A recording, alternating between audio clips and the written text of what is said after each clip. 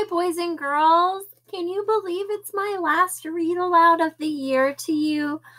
That makes me both happy because I'm proud of you and we're ending up the school year this week and you guys are going to go on and be so successful in third grade in fourth grade.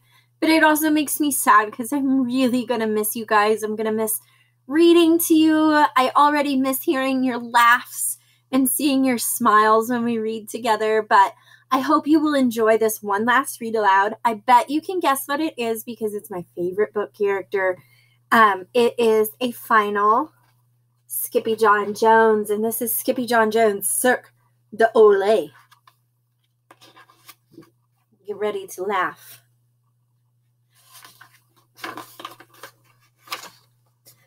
Skippyjon Jones was a real high wire Henry. and that made his mama as worried as a worm in a wading pool. Oh, my fleas, wailed Mama Junebug Jones.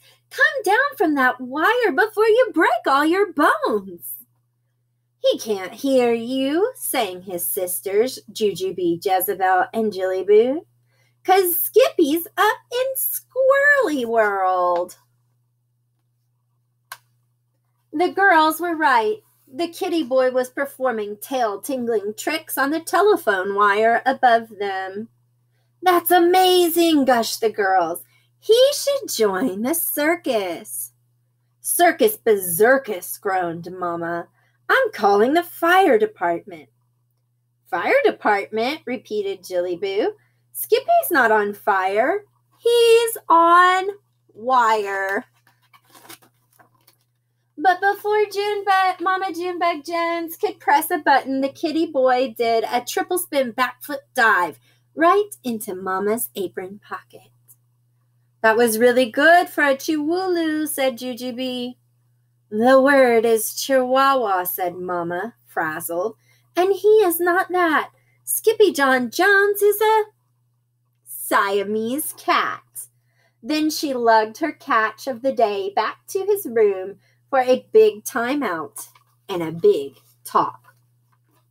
What did you think you were doing up there? You and those squirrels on a wire in midair. What if you tripped and fell on your head? You'd have to spend months in a hospital bed. Then, as Junebug Jones pawed at her hives, she let the truth slip out about cats and nine lives.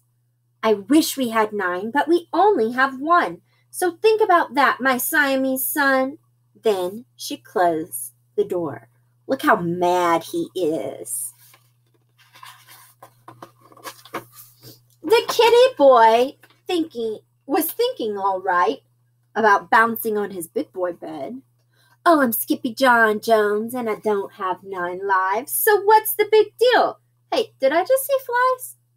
Indeed, he did, and he chased one over to his mirror. What's he going to see in the mirror? Where he ate it. Holy snackito! exclaimed the kitty boy. Love them crunchies. Then he looked into the mirror and, using his very best Spanish accent, he said, If I have one, but one life to live, muchacho, let me live it as a chihuahua. In less time than it takes a flea to fly to Florida, Skippyjon Jones put together a fine costume while he sang in a muy, muy soft voice. Okay, now this is going to be kind of different because we're not all together. But when I point at you, you have to do your. Are you ready? Hands together. Here we go. Oh, my name is Skipito Friskito, and I'm one handsome daredevilito. I'm physically fit, every part, every bit, just right for a circus puchito.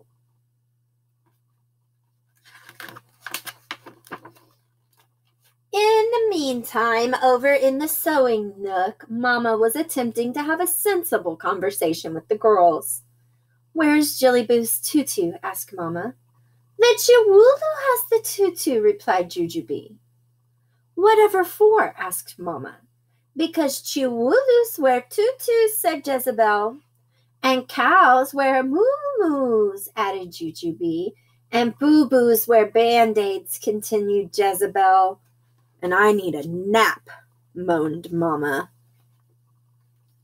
But the Chiwulu wasn't thinking of tutus, muumuus, or boo-boos. He was thinking of flying through the air with the greatest of fleas, just like the dog on a flying trapeze. Until thump, he planted his paw in a perfecto landing on the turf outside the Cirque du Ole! shouted his amigos, Los Chimichangos. Hola! hollered back Skipito Friskito, the great acrobatito, to his barking buddies. Hold your ponies, papitos, declared Poquito Tito, the smallest of the small ones. Have you grown a bigote? No, I did not grow a mustache, Ito, answered the gatito. It's just part of my costume. Bueno, said Don Diego, the biggest of the small ones, because we need you to grow something muchos más importante. But what can be more important than a mustache, muchachos? asked Skipito. What can be more important than a mustache? Los musculos, said all the papitos. Not the lumpitos, giant ticos, declared Skipito. Oh, si, muchacho, said Poquito Tito. The muscles. Let's see your muscles. Ooh, are they big and strong? Then Don Diego pulled an old circus poster out of his right ear and let it unroll. Now do you get it, dude? It says, The first time in America, Tingling Brothers and Cirque du Ole presents the tiny, trembling Tower of Power. And look who's on the bottom. It's Skipito. Oh, I get it all right, said Skipito. It means I am low dog on the totem pole.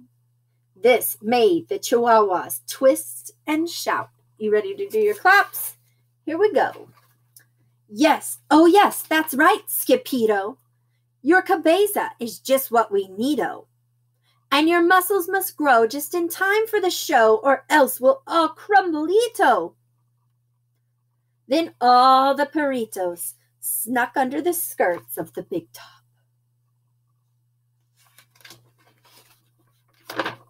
Whoop!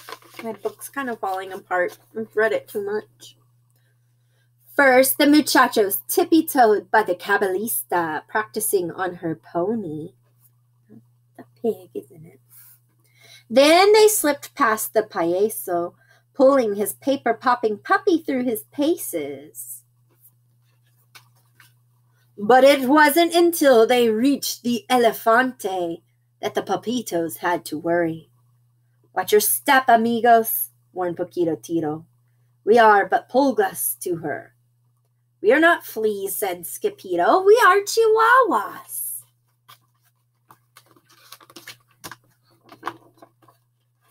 And that wasn't all the doggies had to watch out for. They saw leones and tigras and osos. Oh my! Oh, leones, tigras, osos. Oh my.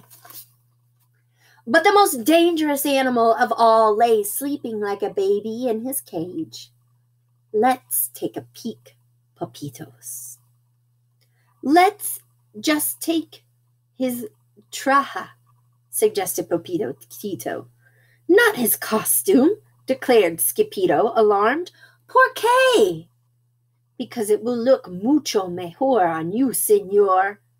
Then they raced like rabbits over to their dressing room. But the circus waits for no dog.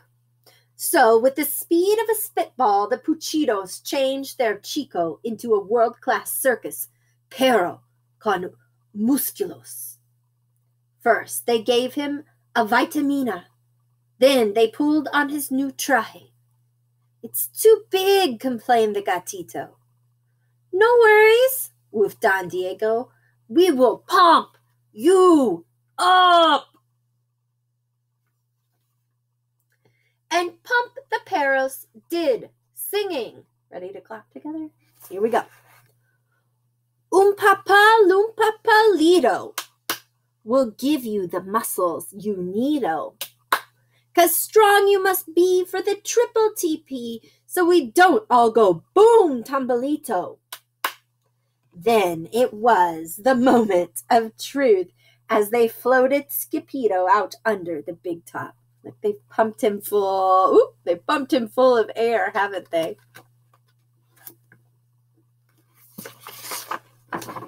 Peros poured out from every point and piled on top of Skipito's grande cabeza. It's his big head. Up, up, up they climbed until they formed a perfecto tower of tiny, trembling chihuahuas. Look at the teeny tiny one up top. And beneath the tower stood the power, tough and shaky as five day jello. But just as the pups were about to make circus history,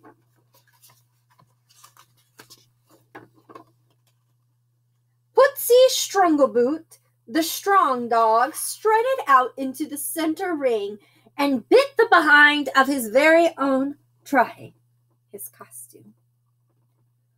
Ole! shouted the crowd.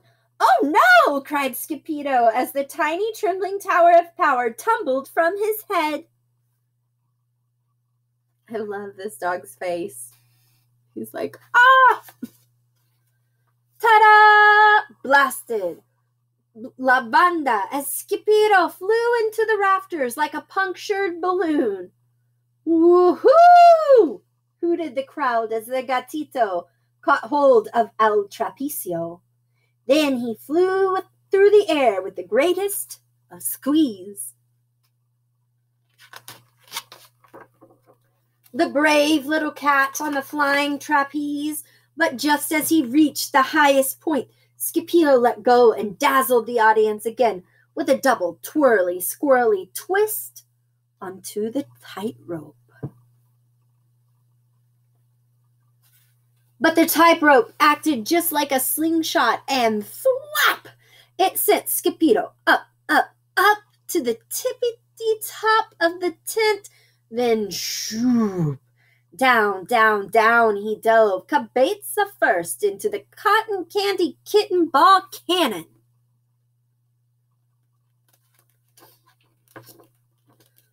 Where Putz Putzi Strungleboot, the strong dog, was waiting to light the fuse.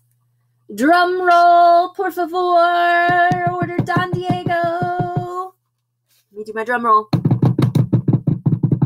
Then kaboom!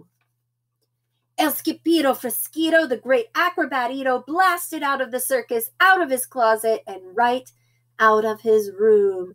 Smack a doodle doo! shouted the kitty boy as he collided with his mamma's head. Wow! exclaimed Jezebel. Where did he come from? He came from the circus, silly, said Jillyboo. Later that night, after a piece of maple mouse pie, the kitty boy made up a rhyme just for his mamma and delivered it with a most sincere bounce. Oh, I'm Skippyjon Jones, but you're the bee's knees, 'cause you're cooking and smoking. Hey, did I just see fleas? asked Mamma, beginning to scratch. Circus fleas, replied the kitty boy proudly. Circus berserkus, muttered, Mama, muttered Mamma. Get your collars out, kittens. It's going to be an itchy night. I hope you enjoyed that last Skippyjon Jones read. You know, uh, there are some books that no matter how old you get, you still love them. Skippyjon Jones is that kind of book for me. I love how funny they are. They always make me laugh and they make me smile. I hope it did that for you today. I hope you have a great afternoon. And if I don't see you again, I hope you have a wonderful summer. And I'll see you when we're all back together again at Owl Creek. Love you guys.